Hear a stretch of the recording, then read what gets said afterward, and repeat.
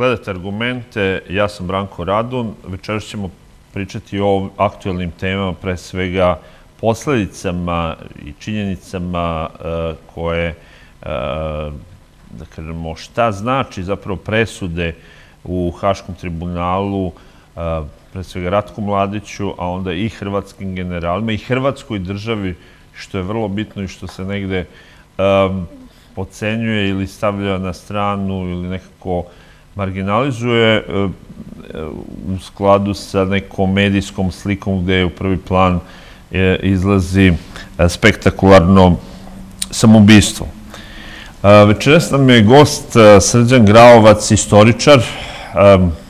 Znači, pričat ćemo malo i o istoriji. Dobro večer. Dobro večer, hvala vam na pozivu. Ali pričamo i danas u kontekstu, da kažemo, istorije.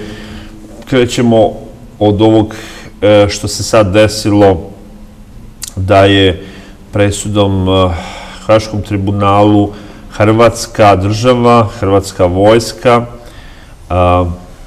i pojedinci, da kažemo, koji su vodili hrvatske jedinice, osuđeni za ratne zločine, a Hrvatska država osuđena za udruženi zločinački poduhvat. I to je bilo iznenađenje, baš kao pred ovu emisiju smo konstatovali, to je bilo iznenađenje za Hrvate i za Srbe i za sve jer smo do sada zapravo mi navikli da budu samo Srbi osuđivani, drugi oslobađani, barem oni da. krupniji, da kažemo, viši činovi u političkoj vojnoj hijerarhiji. E, sad se postavlja pitanje da li je, znači, pošto Haški tribunal jeste jedna politička i geopolitička institucija da sa ciljem, e, da kažemo, disciplinovanja onih naroda koji ne slušaju ili kažnjavanja onih koji su malo, e, da kažemo, e, nepokorniji. E, i dozirana pravda Haškog tribunala je zapravo na neki način i poruka Hrvatskoj i Bosni i Hercegovini, i Hrvatima u Bosni i Hercegovini da oni paze šta rade, zapravo da ne mogu da podrivaju Bosnu i Hercegovinu, te da mogu dobiti velik, da kažemo, mogu doživjeti vrlo veliku štetu u koju, koju zapravo ovaj, ova presuda otvara mogućnost, recimo i za ratnu odštetu i da. za druge stvari. Kako vi vidite a, sada, recimo, tu um, Naravno, jasna je ta hrvatska sad reakcija, nervozna i, i, i panična i um, na površini žustra, ali upravo u suštini uplašena. Upravo to. Reakcija je posledica velikog iznenađenja. To definitivno nije očekivano u Zagrebu. Šok je, da kažem, šok. šok je najbolja reč. Zašto? Pa, ako uzmemo u obzir da Hrvatska sebe smatra saveznikom NATO pakta, ona jeste članica NATO pakta, članica Evropske unije. Kako katolička je moguće, država. Katolička država. Kako je moguće da je došlo do takve presude, a da samo veče pred presudu imam utisak da niko u Hrvatskoj nije znao da će ona biti takva. Ona je izuzetno značajna. Upravo ono kao što ste rekli, čitav hrvatski državni vrh je optužen da je bio učestvovao u zajedničkom zločinačkom poduhvatu, da se Bosna znači, i Hercegovina raspača. agresija na Bosnu i Hercegovinu i ratni zločini I ratni zločini i agresija i da se Bosna i Hercegovina raspača. Jasan je bio cilj da se uzme deo Bosne i Hercegovine. I onda je reakcija iz Zagreba bila, nismo mi krivi, mi smo to morali, jer su Srbi u stvari krivi. Znači, nismo da. morali da uđemo u taj rat, jer su Srbi krivi. Reakcija je u stvari prebacivanje odgovornosti na Srbiju. Možda oni zapravo i nemaju drugog argumenta. Oni drugog argumenta Jer oni ne mogu da pobiju činjenice da je Hrvatska vojska svo vreme rata bila u Bosni i Hercegovini i da je činila i zločine i da je ratovala tamo i da je to bila agresija. Mogu samo da traže neke alibi. Naravno, uniforme su bile iste, da. ekonomski sistem je bio integrisan, tu da. nije postojalo neke razlike između Herceg Bosne i između ostatka Hrvatske. Pravno, gledano, to je okupacija deo Bosne i Hercegovine. Apsolutno. Sada mi jednostavno moramo i samo tu situaciju posmatrati u kontekstu. Nikome to nije bilo čudno ili nikome to nije bilo nešto nepoznato. Svi su znali da je takva situacija bila u Bosni i Hercegovini. Niko nije sad iznenađen. Ja mislim, ili bar niko ne bi trebao biti iznenađen što je Hrvatska u svemu tome učestvovala. Da. Nije, ničim, nije ovom presudom otkrivena neka, neka topla voda ili da nešto tako, možemo slobodno tako Dobro, reći. dosta ljudi e, nisu bili upućeni u, e, u tu priču o hrvatsko-bošnjačkom ili muslimanskom ratu, Možda javnost koja ali, nije- ali da. oni koji su upućeni su znali. Da, javnost koja se nije toliko zainteresovana, nije bila zainteresovana za taj problem, ona i nije znala, ali ostatak javnosti je to definitivno znala. Zašto je ova presuda bila potrebna? Ono što ste sami napomenuli, disciplinovanje. Haški tribunal je uvek bio sredstvo disciplinovanja. Sjetimo se kada je trebalo vršiti pritisak na Beograd. Odjednom se javljaju one tajne optužnice, ovih optužnica nije bilo, pa sad se ko će se naći na novim optužnicama. Kad god je trebao neki pritisak na Beograd, uvek su se javljale optužnice. Kad zatreba pritisak na Zagreb, opet optužnice. Sarajevo, preti se optužnicama. On je jednostavno bio sredstvo Evo imamo i sad najavu, velikih sila u a, stvari najavu na- suda za ratne zločine OVK, koji Upravo isto to. na neki način To je takođe sredstvo zavodi red u nekoj... Upravo to. Verovatno je neko procenio da na Kosovu i. Metohiji trenutno postoji problem u disciplinovanju albanske političke elite i da to treba jednostavno do- dovesti u red. koja je sva, da kažem, iznikla iz OVK, Iz OVK, terorističke upravo to, organizacije. upravo to. Međutim, postoji još jedan važan aspekt te presude. Tom presudom se šalje ta jasna por- poruka. Nema cepanja Bosne i Hercegovine. Hrvati u Bosni i Hercegovini ne smiju da dalje Da, ne smiju da gledaju u. Zagreb, gledaju u Sarajevo. Ni Miloradu Dodiku, nema tu savezništva nikakvog i ne smije ga biti. Nego jednostavno Sarajevo je njima mesto gde oni treba da traže svoju budućnost i svoju sreću. Da. To je jedna poenta. Ali što se tiče Haškog tribunala, ja uvek kažem, taj tribunal ima još jedan važan aspekt. Nije, ova presuda je samo jedna u nizu presuda pritiska. Ali on je imao jednu mnogo važniju funkciju. A to je da u potpunosti amnestira NATO pakt za učešće u ratnim dešavanjima. Da. To je bila njegova primarna funkcija. Jeste, i ostalo. Da.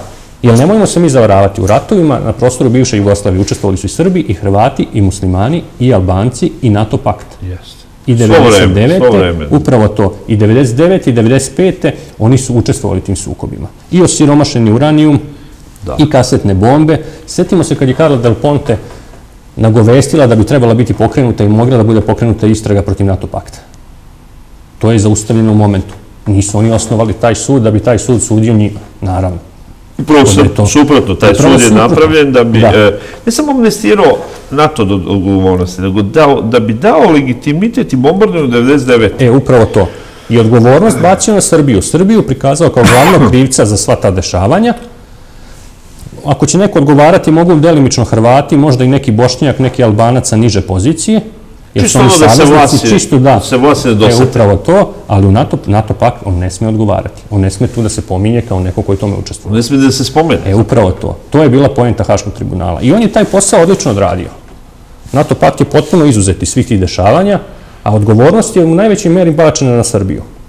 U manjoj meri vidimo sada i na Hrvatsku, ali opet ponavljam, politička potreba je bila u ovom momentu da se tako nešto uradi. Jednostavno, konstelacija snaga u Bosni i Hercegovini delovalo kao da se menja.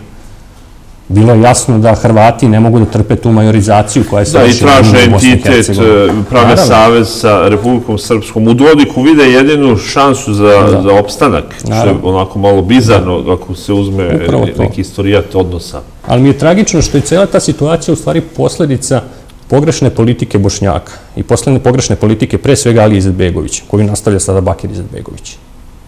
Najlogičnija stvar je bilo da Bosna i Hercegovina pokuša da pronađe zajednički jezik sa Beogradom, sa Srbijom. I setimo se i Miloševića koji je na tome insistirao. Setimo se sporazuma ili razgovora sa Muhamedom Filipovićem koji je o tome svedočio. I setimo se i, i Kutiljerovog plana koji je bio prihvaćen. I setimo se kako Alija Izetbegović taj plan posle jednog razgovora, ako se ne varam sa Cimermanom, američkim ambasadorom, tada odbacuje. Da, da. Setimo se toga. I kako jednostavno tragedija kreće sve ono što se dešava. I da li opet neko kaže, ili može da kaže da NATO pak nije učestvovao i u samom tom ključnom zločinu, zločinu protiv mira? Da, Da li je odgovoran rata, za izbijanje rata? Da, Upravo to. Da. Tako da ni tu ne možemo amnestirati NATO pakt, ali on se potpunosti izvuku iz cele te priče. Ja sam upravo u razgovoru sa jednim čovekom koji je bio na visokim funkcijama u, a, da kažemo, vladi Bošnjačkoj i za vreme Ali Izetbegovića i posle njega i 2000-ih.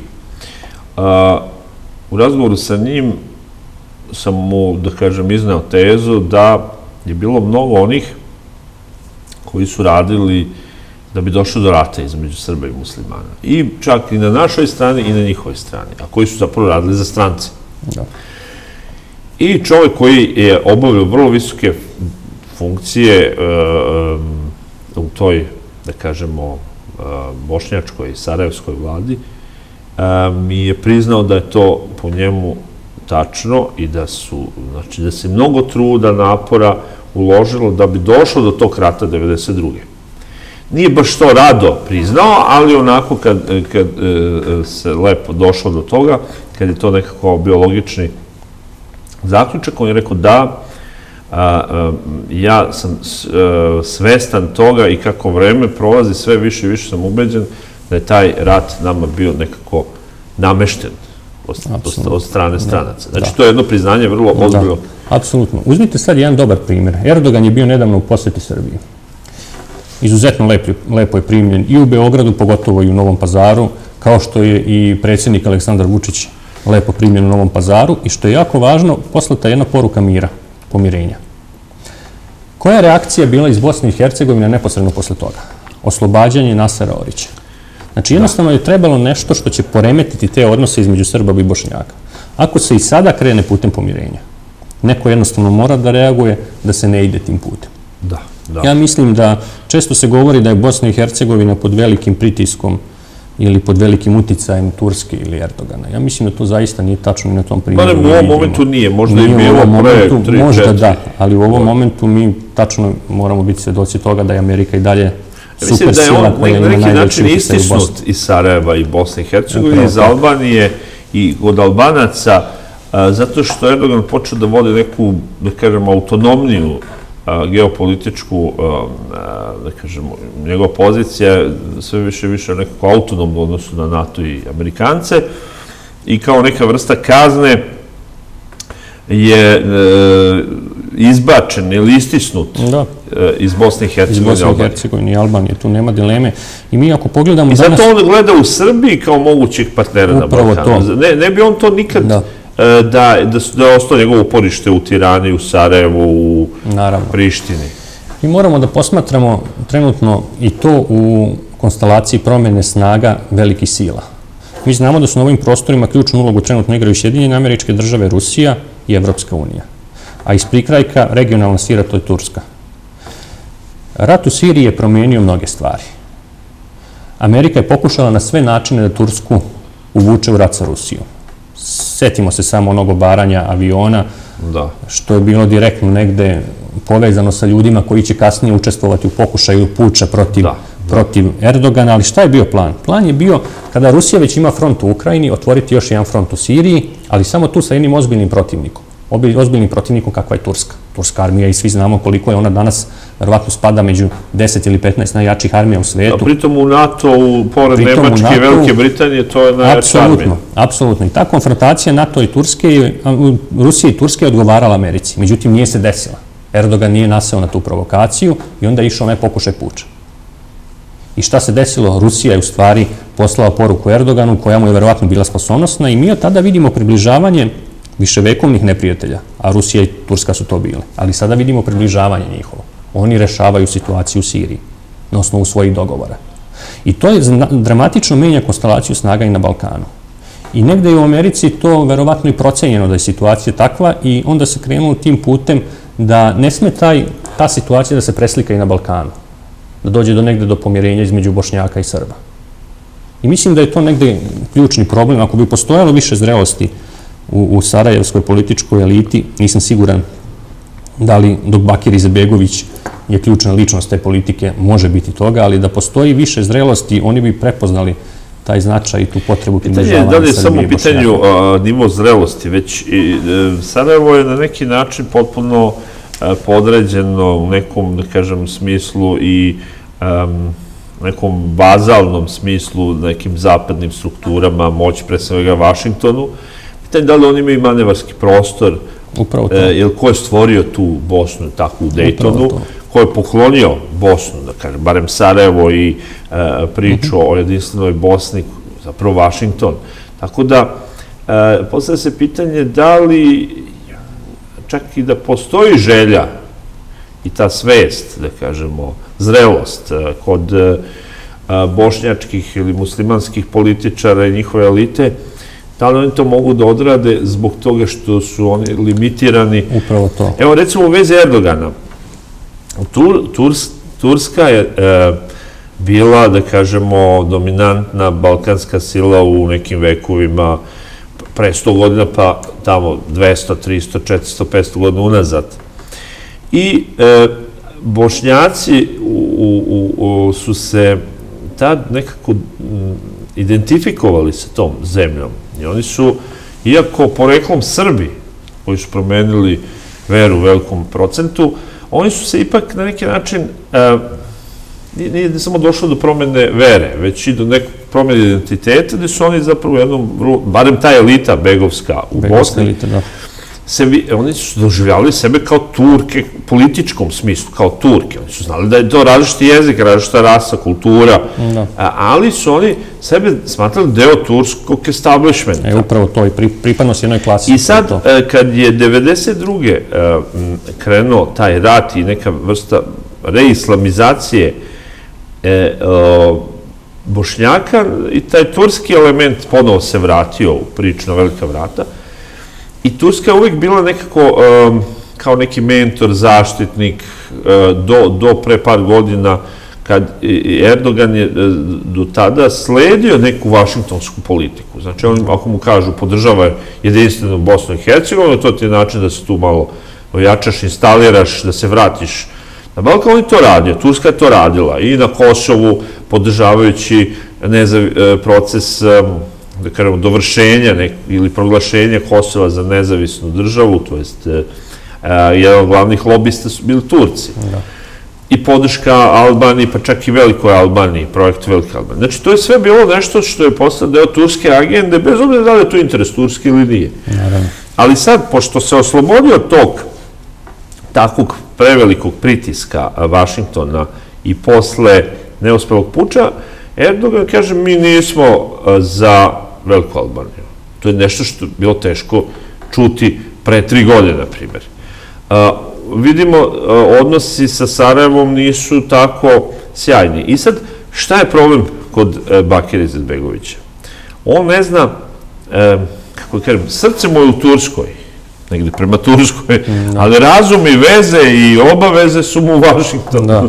I oni su tu sad u nekom ozbiljnom problemu.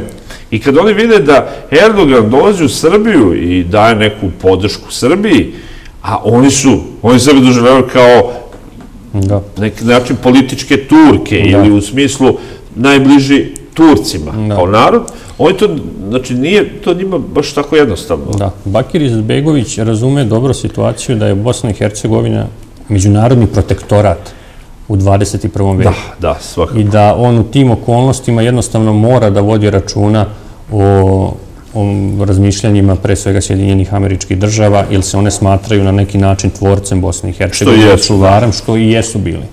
Onda i tu treba reći objektivno, situacija je redko koja država imala toliku pomoć kao što imala Bosna i Hercegovina 90. godina. I Zapada, i islamskog sveta, i, i javnost apsolutno naklonjeno, kreirana je bila takva atmosfera da javnost širom sveta bila na strani Bošnjaka i, i Bosne. Haški tribunal, če, da. s čime smo počeli, on je zapravo proglasio da su jedine žrtve Upravo zapravo bošnjaci. bošnjaci. Da, znači, znači su, da. Ovo presudom Hrvati su činili zločine, prethodnim presudama su Srbi. Su činili, da. Znači, ispada da su Srbi činili zločine i nad Hrvatima i nad muslimanima, da, da su Hrvati činili e, nad muslimanima, a da muslimani nisu činili ni, ni, da.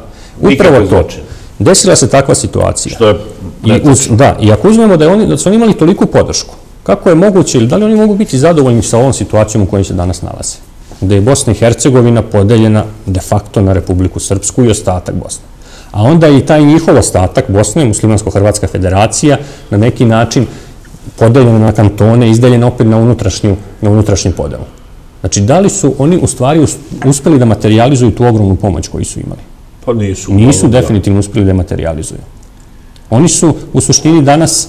No, većina tih novaca nije ni možda ni ušla u Bosni i Dobro, da, to je, to je neka bila da. velika pravonica. Da, to je pitanje za sebe, ali ne, ne mogu da se otmem tom utisku da je za Bosnu i Hercegovinu najbolje rešenje bilo ostanak u sastavu Jugoslavije ili neke skraćene Jugoslavije, ako je već Jugoslavija nije mogla da opstane. I da je to u stvari katastrofalna greška koja je tada počinjena od strane bošnjačkog rukovodstva ili muslimana u Bosni i Hercegovini.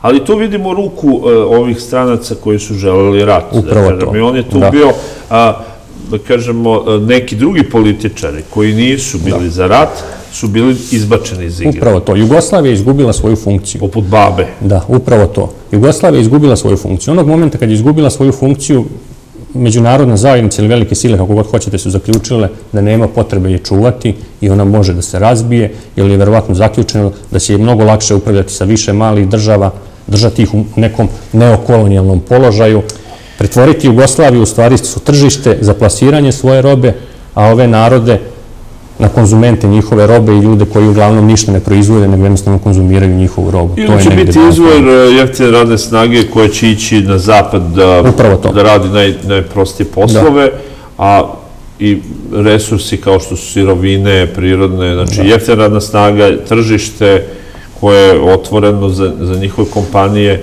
i mladi ljudi koji će, jel, ono što otprilike valja će pokupiti zapad i uzeti kao svoju neku jeftinu radnu snagu. Upravo to. A, to se i desilo zapravo. I to, a, kad sam rekao tom čoveku koji je bio funkcioner, na- naime bio ministar odbrane a, u Bosni i Hercegovini, ali pošto ne, ne, ne bi da otkrivam njegovo ime, zato što ipak u toj komunikaciji nisam ga pitao da, li mogu, da li smem da kažem a, ko je u pitanju. A, on je zapravo upravo to rekao, da, a, da smo mi ušli u jedan rat i da je posledica toga rata da smo svi gubitnici. Upravo to. I da je, e, iako delo je neko možda malo vi- više gubitnik, neko manje, zavisi na kom terenu, na kom prostoru, ali generalno i po žrtvama vidimo neku proporcionalnost Da. e, broju stanovnika, broj žrtava, kad se uporedi e, nešto je više od proporcionalnog e, broj e, muslimanskih žrtava, tako da i u tom smislu muslimani nisu prošli Da. dobro u ovom ratu, a bili su nahuškani na rat i e, čitava, čitav taj scenario od ubistva e, starog svata u centru je pokazuje da to je bio jedan dobro osmišljen scenario u kome su učestvovale brojne strane službe. Upravo to. Da. Da. A to se, nažalost, kod nas malo uh, govori, ovo, ovo će neko redko gde moći da čuje, je li tako, da je to zapravo bio jedan scenario, Upravo to. uh, jer niko ne želi da te moćne sile, kažem, ra razobliči kao odgovorne za taj rat. Jeste da ovdje postoje uvijek potencijala uh, međuetničkog razlika u verama, u tradicijama, Da.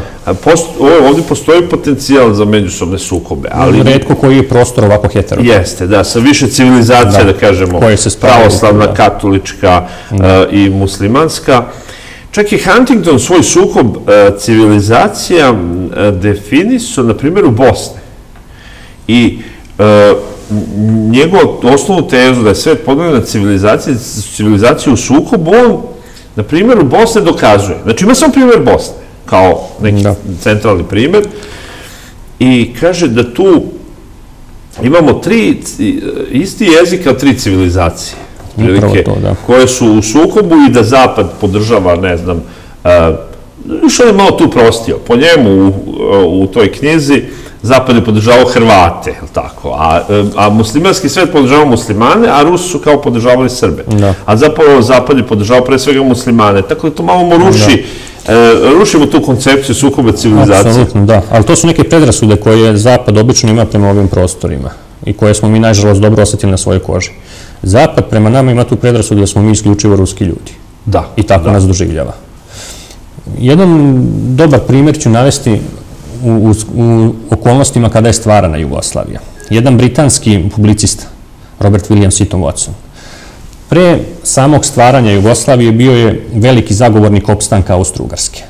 Zašto opstanka Austro-Ugarske? Zato što je on smatrao da je ta Austro-Ugarska više nacionalna država I koja spaja druge narode i drugi, da. to vreme, Naravno, ali negde je u stvari u Austro-Ugarskoj videla, videla se država koja može da suzbija nemačku ekspanziju s jedne strane, a rusku sa druge strane. Da, da bude taj tampon neki. Međutim, onda se desila velika, veliki, e, za njih nesrećna okolnost, kada je američki predsjednik Woodrow Wilson, koji je bio zaista jedna zanimljiva ličnost koja redko kada ćemo imati jednog predsjednika koji sa toliko etike i morala prilazi u politici kao što je bio Woodrow Wilson. Kad je on iznao svojih 14 tačaka zbog kojih Amerika ulazi u rat i kad je rekao tajni ugovori ne postoje i ne važe. I kada je rekao da u suštini svaki narod ima pravo da odluči o svojoj sudbini, koliko on god on mali bio. To je bio u stvari, da kažem, mač u srce Austro-Ugarske ili Hazbuške monarhije. I tu je otvoreno, nekih ti veštačkih. Da, I tu je otvorena ideja u stvari stvaranja Jugoslavije i Robert Williams i Tom Watson je samo jedan od onih koji su u stvari videli. Austro-Ugarska propada, šta je rešenje? Pa je da veliku Austro-Ugarsku zamenimo jednom malom takvom državom, to će biti Jugoslavija. Opet će mini, imati istu mini Austro-Ugarsku. Da, opet će imati istu, istu ulogu. Suzbijati ruski uticaj s jedne strane, a sa druge strane germanski. Ali međutim, postavlja se tu jedan ozbiljan problem. Srbi će biti protagonisti te države, ono što je bila činjenica, Srbi imaju ključnu ulogu u toj državi i to je on rekao. U početku će Srbi imati ključnu ulogu. Oni su proruski faktor na ovim prostorima. Ali vremenom će Hrvati i Slovenci kao civilizovaniji narod, više evropski narod, preuzeti od Srba tu dominantnu ulogu, što je prirodan proces. I onda će u stvari ta država biti ono što mi istinski želimo. Ta država će biti jedan antiruski eksponent na Balkanu. A to se zapravo desilo sa Titom. I to se desilo sa kažem, u drugoj Jugoslaviji, da, zapravo. Ta, bila je, bila, je prva faza, da kažem, neka da. prosrpska ili nije da. bila antisrpska. Ta država je, da, nije bila antisrpska i ta država je bila u kojoj srpska politička elita jednostavno nije dozvolila nikada da Hrvati i Slovenci preuzmu ključnu ulogu u državi. Jednostavno, oni su se držali toga da su Srbi najbrojniji, rezultati izbora su takvi kakvi su, a srpska politička elita je bila iskusna. I Nikola Pašić, kasnije Stojedinović, oni su znali da vode politiku i nisu bili spremni tek tako da prepuste bilo kome drugom da vodi glavnu reč u zemlji. E sada ključna stvar u svemu tome je što Britancima tada ta monarhistička Jugoslavija nije smetala iz jednog razloga što je ona sprovodila antirusku politiku na ovim prostorima. Naravno. Ali zašto? U tom momentu da, antibolševičku. Antibolševičku, ne u da. stvari antirusku. Antibolševičku. U tom momentu, upravo to, uh, da antikomunističku politiku. Protiv Moskve, tadaše. E, upravo to. Tadaše, da. kakve takve. Da. I takva Jugoslavija Britancima nije smetala. Ali negde se u stvari najbolje videlo i kada je formirana druga komunistička Jugoslavija, da je tu u stvari taj interes Britanaca ostvaren. I Robert Williams i Tom Watson je bio oduševljen Josipom Brozom Titom, iako je Tito komunista ko bi trebao da bude u Britaniji oduševljen komunistom, ali on vrši federalizaciju pa Jugoslavije. Upravo to. Churchill u manjoj meri, on je više bio realista. Ali, ne, ali kada nije imao ništa protiv, da, nije imao ništa da, protiv, da, da, da bude strateški partner. Upravo to. Churchill je napravio jednu zanimljivu procenu za vreme rata. Ne zanimljivu, on je bio realista. On se nadao za vreme rata da će Britanija doći u Jugoslaviju pre Sovjetskog saveza.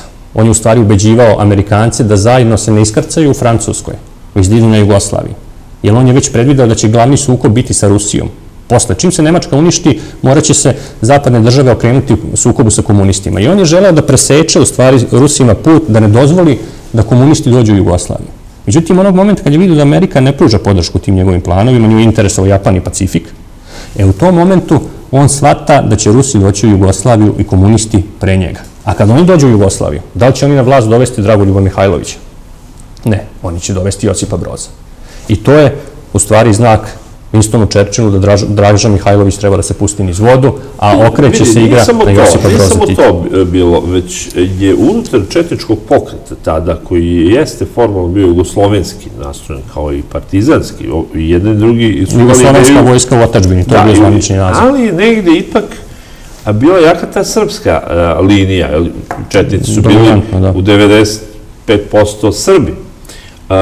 duše postala četnička vojska, da, i partizani, ali četnička vojska je recimo postala u Sloveniji, od Slovenaca, koji su, da. naravno, nisu bili e, oni četnici da.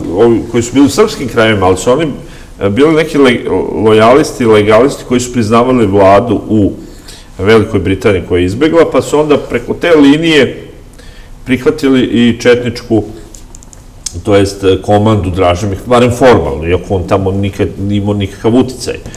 Ali e, šta je suština?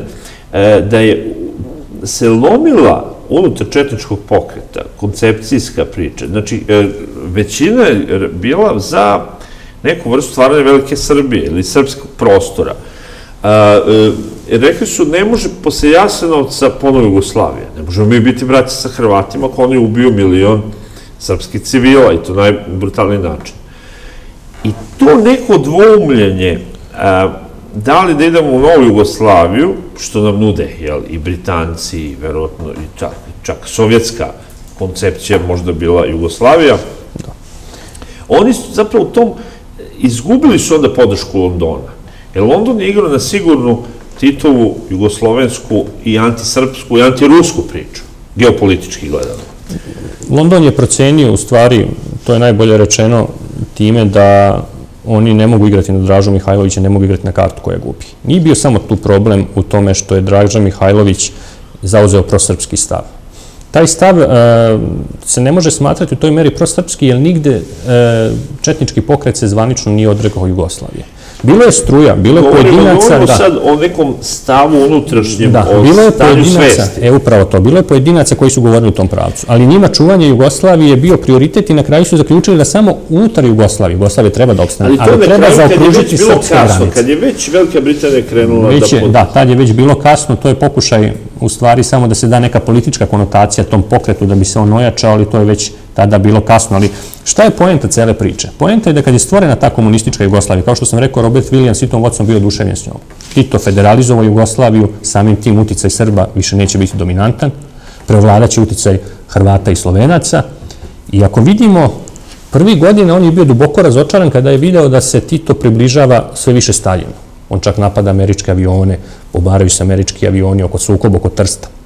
Međutim, samo par godina je prošlo, a ide ono istorijsko ne Titovo Staljino. I upravo sve ono što je Robert Williams i Tom Watson video u Titu, to se kasnije ostvarilo. Da. Tito je bio upravo to, kako su ga zvali, poslednji Habsburgovac. Poslednji čovek koji je u stvari sprovodio tu politiku Habsburgske monarhije koja je ona trebala da bude na ovim prostorima suzbijanja ruskog uticaja.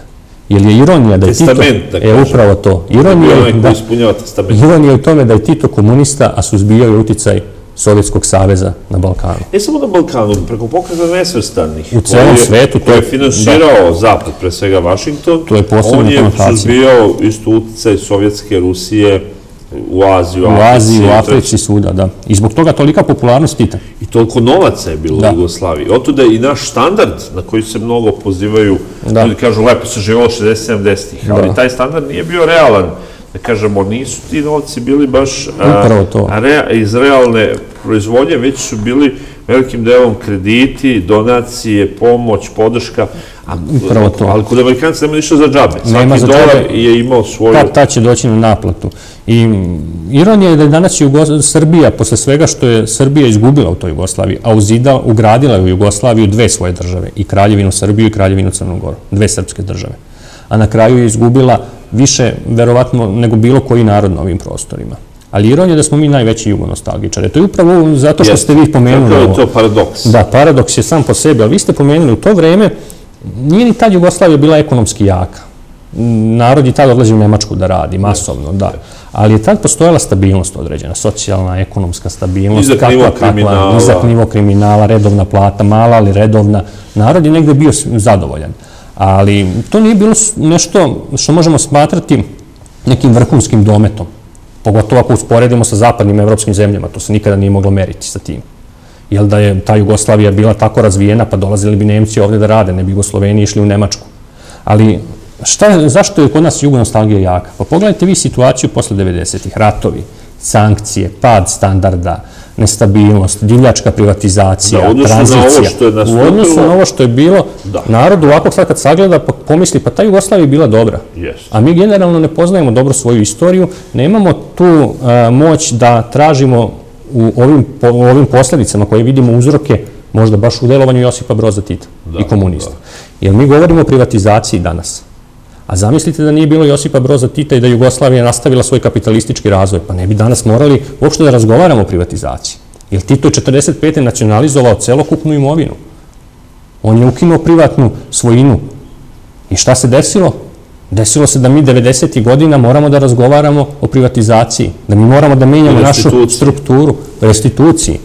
Znači, gomilu problema koje danas imamo, imamo zahvaljujući Znači, ono tome. što je oteto, opljačkano, oduzeto, može da se vraća. Da, a zapadne zemlje, one su jednostavno gledale te istočnoevropske zemlje, komunističke bivše zemlje kao plen.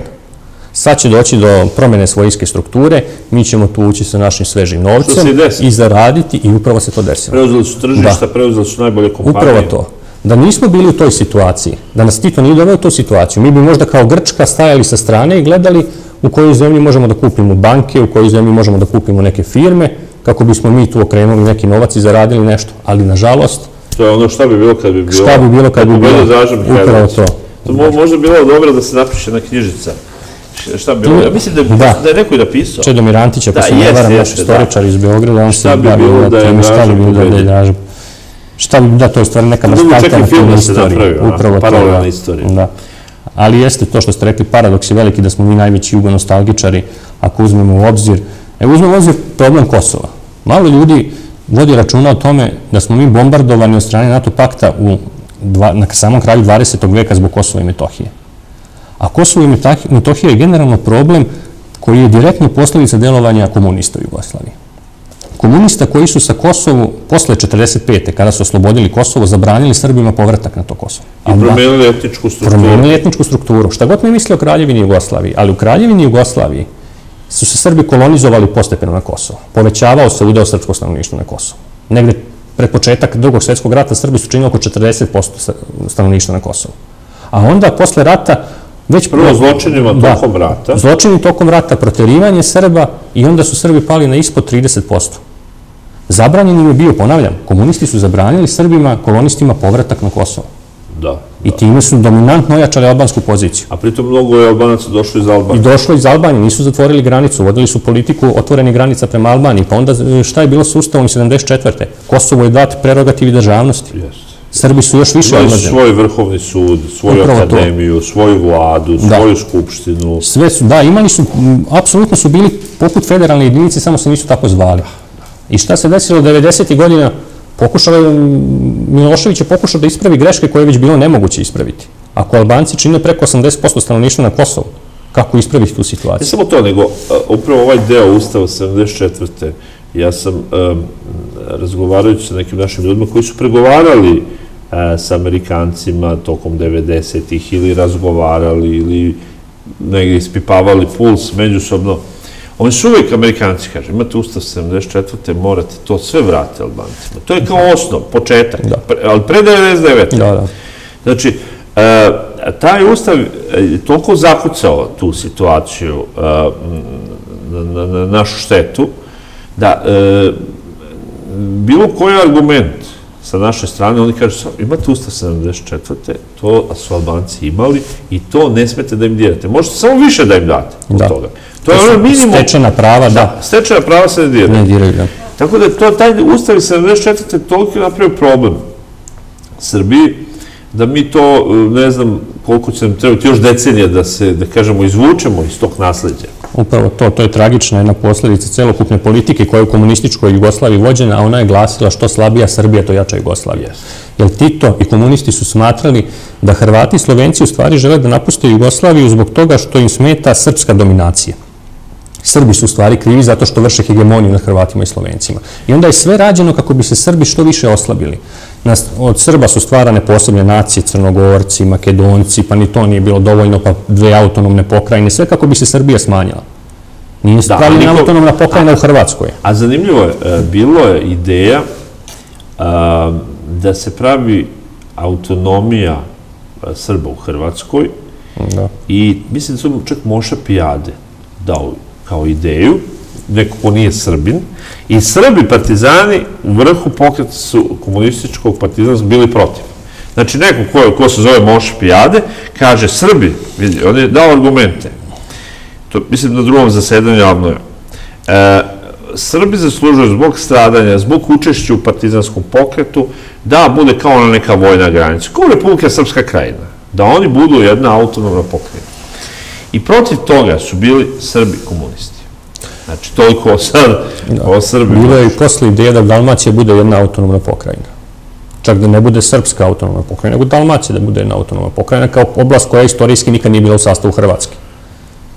Međutim, ni to nije prihvaćeno jer je smatralo se da se Hrvatska ne može deliti. Su, nije ona toliko velika da se može deliti, a Srbija se može deliti na nekoliko delova, ali kad to sagledamo, zar nam onda ne deluje da je možda taj stav našeg društva jugonostalgičan stav, u stvari posljedica našeg nepoznavanja istorije?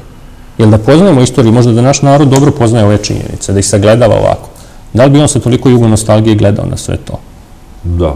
Ali ima tu više nekih elemenata. To je priča dosta komplikovana, kompleksna, sa više slojeva.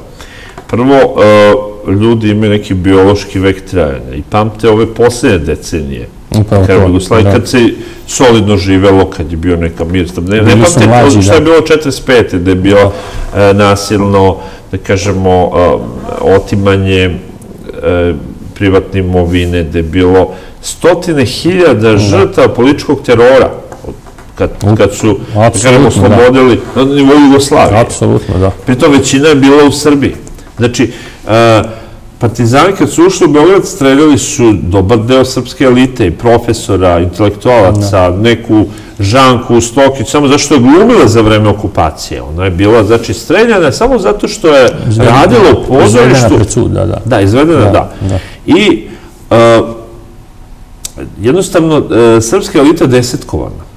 U, u- nešto od Nemaca tokom rata, a onda još više od Još više od komunista. Da. Komunista ili stradali ili napustila zemlju. I vama da ne treba neko da, da kažem, eliminiše iz života mnogo ljudi. U jednom gradu to je možda par hiljada ljudi koji Evo, su kulturni, obrazovani, koji imaju veze, koji znaju jezike, koji imaju neke talente i vi njih ubijete ili proterate i taj grad ostane bez svoje duše, bez svog Upravo to. identiteta. I onda se postavi pitanje ko će braniti srpske interese kada se stvara taj ustav iz 74. Setimo se kada je stvaran taj ustav iz 74. Imamo svedočenje Borislava Jovića koji govori o tome da je razgovarao sa učesnicima tih razgovora. Nikoga nije bilo tu da stane iza srpskih interesa. Da, Steva Krajačić, neprikosloveni vođa hrvatskih komunista. On je sam Tita pitao, pa kako ćemo, dobro, sve je ovo u redu, ali kako ćemo mi ubediti Srbe da ovo prihvate? Tito je rekao, ma šta je dobro za, šta je dobro za Jugoslaviju, dobro i za Srbiju, oni će to prihvatiti. I tako je i bilo. Tako je i bilo, to je prošlo tako. Iako, ponavljam, Steva Krajičić sam nije verovao da to tako lako može proći. Ali zašto je prošlo? Pa kad nemate ljude od au- autoriteta koji mogu da kažu nešto ili mogu da se usprotive nečemu, onda se to desi. Da. Pre toga smo uništili elitu koju smo vekovima stvarali od Miloša Obrenovića, nepismenog Miloša Obrenovića koji je znao da moramo stvarati našu elitu i obrazovane ljude. Oni su uništeni, a onda i ono komuni, komunističkih glavešina koje je bilo. Šta je bilo sa Slobodanom Penezićem Krcunom, šta je bilo sa Aleksandrom Brankovićem, oni su, jel te, jedan je stradao, drugi je potpuno politički marginalizovan i ko je onda tu mogao da podigne glas? Naravno. Mogao je neko da podigne, ali svi su, što kaže Borislav Jović, mislili na neke svoje sitne interese, sinekure i, i neka svoja, da kažem, prava i, i, povlastice, ali niko nije mislio na nacionalne interese. U tome je tragedija cele priče. Tako da je elita u svakom slučaju bitna, ali nažalost ta naša elita je uništena upravo kao što ste to rekli u komunističkoj odmazdi. Bilo je više tih e, faza, da kažemo, ali ono što sad što ste krenuli da pričate o 19. veku i od e, vremena Obrenovića, e, ta ideja jugoslovenstva je negde e, se zapatila sredinom 19. veka i kod Hrvata i kod Srba, a, u Hrvatskoj to bio Štrosmajer. da Ilirski kažem. pokret, Da, ilirski pokret. Ali njihova ideja jugoslovenstva je bila da se zapravo pokatoliči taj ju- južnoslovenski. On kao čovjek vrlo a, blizak da kažemo, Beču i Vatikanu, čovjek Vatikana i Beča sa vrlo visokom funkcijom, je vidio kroz ideju jugoslovenstva način da se stvori jedan, um, pa ne kažem možda katolički narod, jugoslovensko-katoličke ili unijatske, da kažemo, provinijencije, pa je čak e, pregovarao e, i pisao, neku prepisku i sa Bugarima gde on njih ubeđivao da treba da pristupe tom jugoslovenskom da kažem, projektu, ali naravno da pređu na neki način ili u katoličanstvo ili da postanu unijat. Sa druge strane, kod Srba to bilo nekako neko naivno osjećanje, već kod ne- nekih Obrenovića, nekim nalaze čak i kod njegoše elemente nekog tog slovenskog bratstva. E, mi smo tu uvijek bili nekako naivni, nekako verujući da i drugi veruju u neko bratstvo, ali zapravo druga strana je želela to da zloupotrebi i iskoristi. Tako da, e, Ja. lociramo više kod Obrenovića početak, je li tako? Neko da, ironija, da, ironija je da se danas najviše Karadžorđevićima pripisuje Jugoslavije. Tačno, Oni su realizovali, da, zato da, je to da, tako. da. Ali ideje, vi već vidimo kod Mihajla Obrenovića, on je bio veliki zastupnik tih ideja. On je pravio planove o zajedničkoj Da, akciji sa Bugarima, stvaranju Bugarske sa federacije između Srbije i Bugarske, na čijem čelu bi naravno bio on. Već vidimo tada te ideje. Pa čak i načetanije u jednom, da kažemo, legitimnom tumačenju se smatra, Smatra kao... kao pro-jugoslovenski. Jest. Iako Da. nije baš jasan. Nije Ako se čita tekst, ima da. elementi i srpskog, i srpskog, i da, jugoslovenskog. i jugoslovenskog, ali iz svog kasnijeg delovanja Ilije Garašanina koji je bio najbliži oni radili na jugoslovenstvu. Ali zašto? Mi moramo shvatiti da za razliku od hrvatske političke elite, srpska politička elita je bila dosta zrelija. Mi smo već imali, već sticali polako svoju državu. Mi smo je gradili. Hrvati to nisu imali, oni jednostavno nisu imali svoju državu. Mi smo gradeći svoju državu shvatili neke stvari što drugi narodi jednostavno nisu dovoljno bili zreli da shvate. A šta je to bilo? Da na Balkanu jako je teško povući međuetničke nacionalne granice. Toliko smo šarenoliki. I zato je u stvari Ilija Garašanin i, knjez Mihajlo govore od Balkanskoj federaciji, od naddržavi. Jer tako se najlakše mogu suprotstaviti spoljnom faktoru i tako najlakše mogu izbeći da dele taj prostor međusobno i međusobno se svađaju. Ali opet, kažem, postavljam pitanje koliko je na sve to mogao da bude spreman ili koliko je sve to mogao da razume neko ko predstavlja političku elitu u Hrvatskoj koji uopšte i nema svoju državu. Da, naravno. Ali možda se vratimo sad na neku sadašnjost i da to time završimo, evo, već približavamo se kraju emisije. A, da ta priča o tom, da kažem, tituističkom nasledđu i tom da, da, da toj činjenici da a, srpska politička elita po Titom i, a, je sve više više tonula u taj neki poltronski jel, odnos a, da imamo nasledđe tog sistema i danas dobar deo srpske elite je sklon da da kažem, da se poistoveti, da kažemo, pre sa nekim hrvatskim stavovima, da kaže, eto, Srbi su krivci za rat, Republika Srpska je zlo. Znači, delovi srpske elite, intelektualne, kulturne, takozvana druga Srbija, liberalna Srbija, zapravo preuzimaju i te tituističke stavove, iako sad se predstavljaju kao liberali i demokrate, ali u principu to je ta ista matrica, e, velikosrpska hegemonija se sad zove to, da. zločinački poduhvat e, da se napravi velika Srbija. E, I sad imati istu priču, sad je prepakovano u jednu modernu, globalističku, liberalnu jeli, paradigmu, ali zapravo ono isto što ste imali vreme tog kasnog tituizma. Pitanje je koliko je to elita, koliko je u stvari kvazi elita. Kod nas ta elita koja govori, narodna elita, ali formalnom smislu elita, znači oni ljudi koji drže pozicije, koji imaju uticaj, da, koji imaju smislu, da, titule, da, u tom smislu imaju titule, da, ali u suštinskom da, da. ali u suštinskom pitanju koliko su oni elita kad mogu da zastupaju takve stavove. Nemojmo se mi praviti naivni. Ako sagledamo situaciju kakva je bila na ovim prostorima od 90. godina do danas, shvatit ćemo da kada govorimo o toj našoj, tačno je, mi smo učestvovali u svemu tome, ali ne možemo mi biti krivci za sve.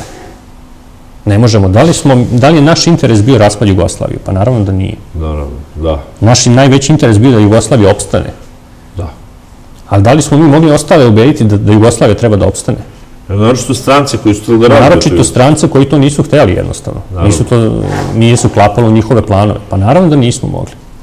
I u tom kontekstu mi moramo posmatrati priču. A što se tiče O, o srpskoj krivici. Da, o srpskoj krivici. A što se tiče tog nametanja krivice, to je krenulo naročito posle 2000. godine kada je nekako uhvaćena ta mantra u našem društvu da sve što ima predznak srpsko je automatski loše.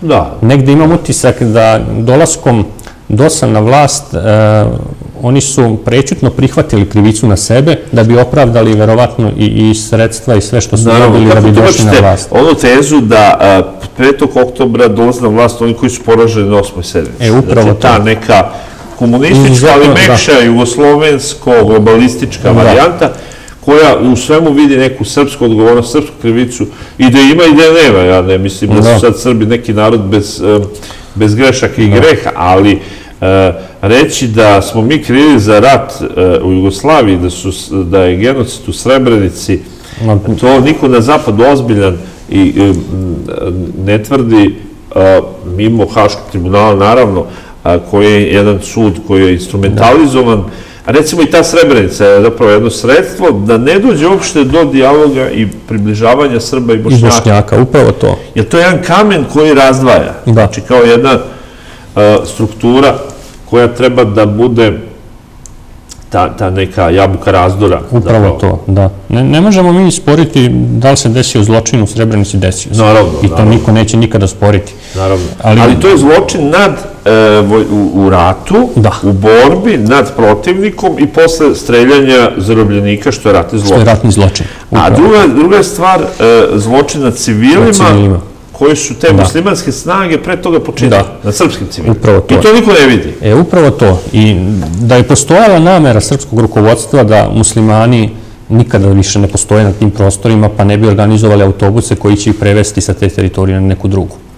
Oni su ih imali sve u svojim rukama i mogli su ih sve da streljati ili pobiti. To se nije desilo, jer nije bilo takve namere. Što je zanimljivo, Nije dosta bitno, ne znam koliko je to primjeću u našoj javnosti, poslednjim presudama Haškog tribunala, prvo ta cifra od 8-7 hiljada svedena na 4 hiljade. I e, druga stvar, Srbija je tu e, negde a, nije apostrofirana kao u ovoj pre, presudi a, a, Hrvatima i hrvatskim oficirima. Što je zanimljivo, da. Odgovornost Srbije se ne vidi u tim presudama za da kažemo, presude o zločinima u Da. Bosni i Hercegovini. Da. To je interesantno, to je paradoks tog suda, da Srbi, na Srbiju je bačena odgovornost za gotovo svaki ili skoro sve što se dešavalo na ovim prostorima. A onda, kada je u pitanju zajednički zločinački poduhvat oko Bosne i Hercegovine, ispostavi se da Srbija nema za to odgovornost. Što je neverovatno, ako uzmemo u obzir da je pre toga Haški tribunal osudio celokupno rukovodstvo. Republike Srpske, Srbije, Srbije, do duše, da, da. da. Znači, to je ne- nešto neverovatno, ali što govori o tome kakav je taj sud.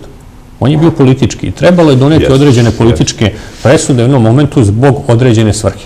I to je to. I to tako moramo, moramo doživljavati. druge logike nema. Nema logike. Ne može drugačije da. se objasniti. Ne može se drugačije I ova objasniti. posljednja presuda Hrvatima u Upravo Bosni. to. Ili presuda Anti Gotovini. Da. Ispalo je da za zločine nad Srbima, stotine hiljada proteranih, da to niko nije kriv. Da su Da, krivi prvo, ali sami prvo, Srbi. prvo je presuđen da je kriv, pa onda čud, čudnom tom logikom, nekom Da, alhemijom, da. uticajem, odjednom postao nevin. Da, odjednom je prote- promenjen kriterijum i po tom novom kriterijumu on nije odgovoran za to. Da. A onda je opet vraćen kriterijum i sad po tom kriterijumu koji je vraćen, sad su ipak odgovorni Hrvati, ali za Bosnu, ali za Srbe u Hrvatskoj, e, za to ipak I, da, I nisu. za Srbe u Bosni nisu. Da, ali jesu za Bošnjake odjednom odgovorni. E, To je, sad, to je, da. ja, jako teško objasniti. Ovaj. Sad zamislimo neko ko je stranac, ko dolazi sa nekog drugog kontinenta, da mu to sad sve objasnimo. Znači, ni nama zapravo nije jasno, Da. a kamoli nekom... Pa to, a znate šta je tu stvari zanimljivo? E, jedan sudija Haškog tribunala Juž, Južne Afrike, ako ne sećam, Bakone, koji je na kraju prilikom suđenja Milanu Martiću rekao, pa znači vi Srbi kada ste izbačeni kao konstitutivni narod, da ste samo napustili, napustili Hrvatsku, nikakvih problema ne bi bilo. Ni za vas, ni za Hrvate. Svatate koliko je to u stvari izjava koja je toliko besmislena Da. koja govori o tome da po njima Srbi jednostavno su trebali da napuste sve prostore i da se povuku i da jednostavno ne treba da ostanu ni u svojim kućama, niti bilo gde, jer to je A besmisleno. kao, znači, potpuno nesvesno, Znači- da su ti ljudi živjeli tu vekovi. Upravo to, neverovatno da on ne može da pojmi kakva je situacija bila, a on je sudija tog suda. I on treba da donese presudu koja zavisi život jednog čoveka. I sudija jednog naroda. I jednog naroda.